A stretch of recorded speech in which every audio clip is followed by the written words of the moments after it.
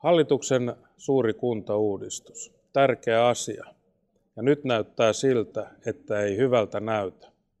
Miksi sanon näin? Tässä on selvä demokratiavaje tämän asian valmistelussa. Jokainen meistä kuuluu johonkin kuntaan ja on oikeus tulla kuulluksi. Nyt kuitenkin pyramidi menee väärinpäin. Pyramidikin rakentuu alhaalta ylöspäin ja kärki on siellä ylhäällä. Nyt on niin, että ministeriöistä, vallan kammareista kerrotaan sinne alemmas, mitä pitää tehdä ja missä tahdissa. Suomi on laaja maa ja meidän täytyy hoitaa palvelut kaikille. Tämän kaiken takana on Suomen perustuslaki, joka lähtee siitä, että jokainen suomalainen on tasa-arvoinen ja jokaiselle suomalaiselle kuuluvat tietyt perusoikeudet. Ja tämä on se ylätaso, mistä lähdetään liikkeelle. Se on sitten poliittisten päättäjien asia, eduskunnan asia, miten nämä palvelut ja oikeudet ja myöskin velvollisuudet, jotka perustuslaki suomalaisille takaa, hoidetaan. Tällä hetkellä meillä on paras laki voimassa. Oikein tai väärin, toimii tai ei, toimii miten toimii. Se on kuitenkin tällä hetkellä se pohja, mistä lähdetään liikkeelle.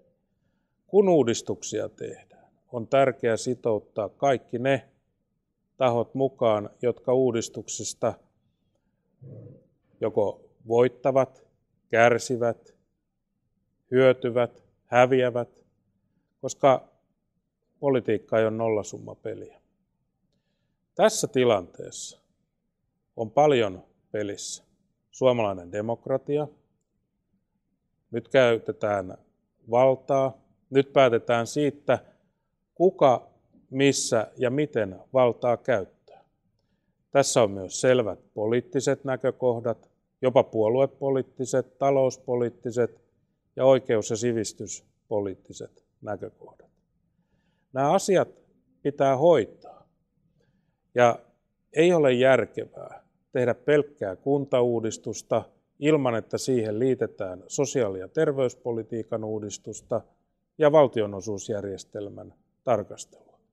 Tämä kokonaisuus pitää olla koko ajan pöydällä, muuten ei tule tuloksia. Keskittäminen ei ole mielestäni hyvä ratkaisu. Miksi? Sen takia, että jos nähdään vaikka suuri kuntamäärä ongelma, se ei pelkästään riitä. Meillä 200 pienintä kuntaa käyttää noin 13 prosenttia kaikista resursseista. Jos halutaan taloudellisia pitkäaikaisia muutoksia, on puututtava ihan muihin asioihin kuin pelkkään kuntamäärään. Kuntamäärää olkoon yhtenä joukossa, mutta ei ainoana ja määräävänä joukossa.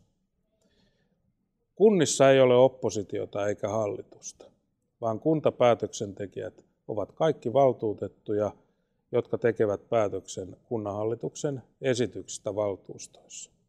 Sen tähden olisi viisasta, järkevää ja perussuomalaisten kanta, että tämä uudistus tehdään niin, että saadaan turvattua palvelut koko Suomessa järkevällä rahoituksella.